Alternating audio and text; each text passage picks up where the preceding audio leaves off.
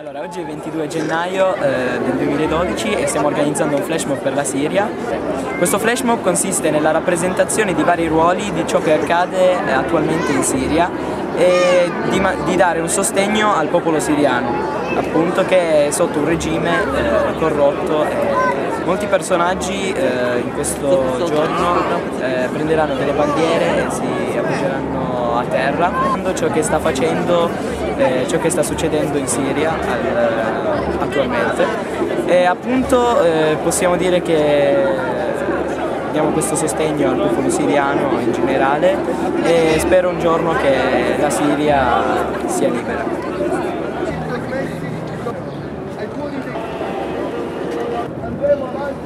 la libertà!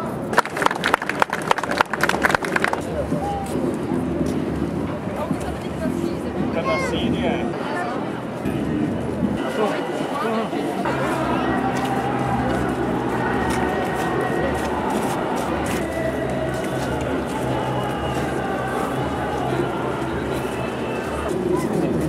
É proprio modo.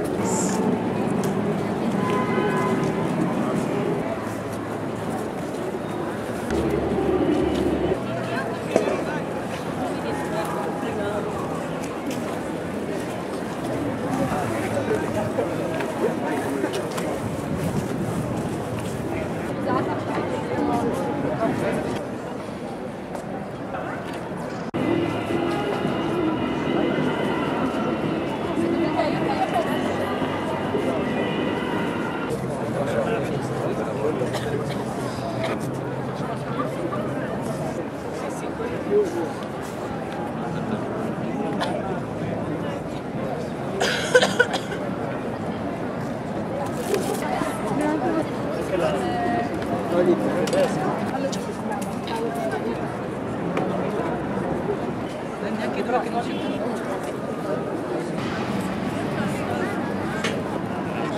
Siamo un gruppo di giovani che ha organizzato questo flash mob. Oggi è il 22 gennaio 2012 e siamo in piazza Castello. Questo flash mob è stato organizzato in protesta al regime siriano che sta opprimendo, devastando il popolo siriano, il quale non ha più libertà. Sono ormai dieci lunghi mesi che è iniziata la rivolta siriana contro il regime di Bashar Assad.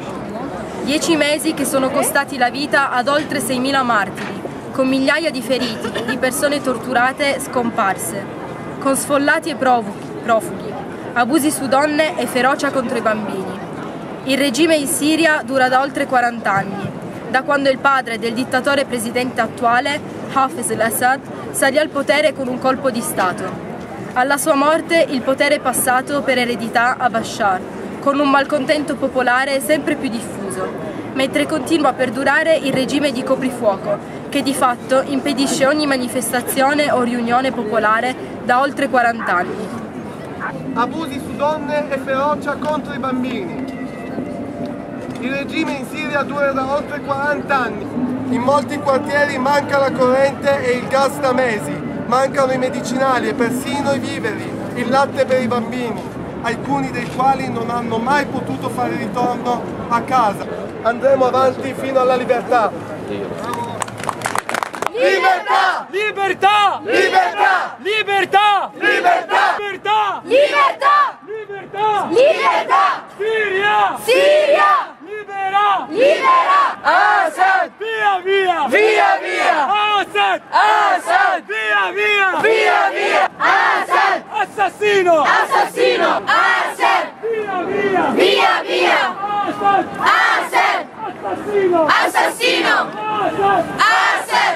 Assassino! Assassino!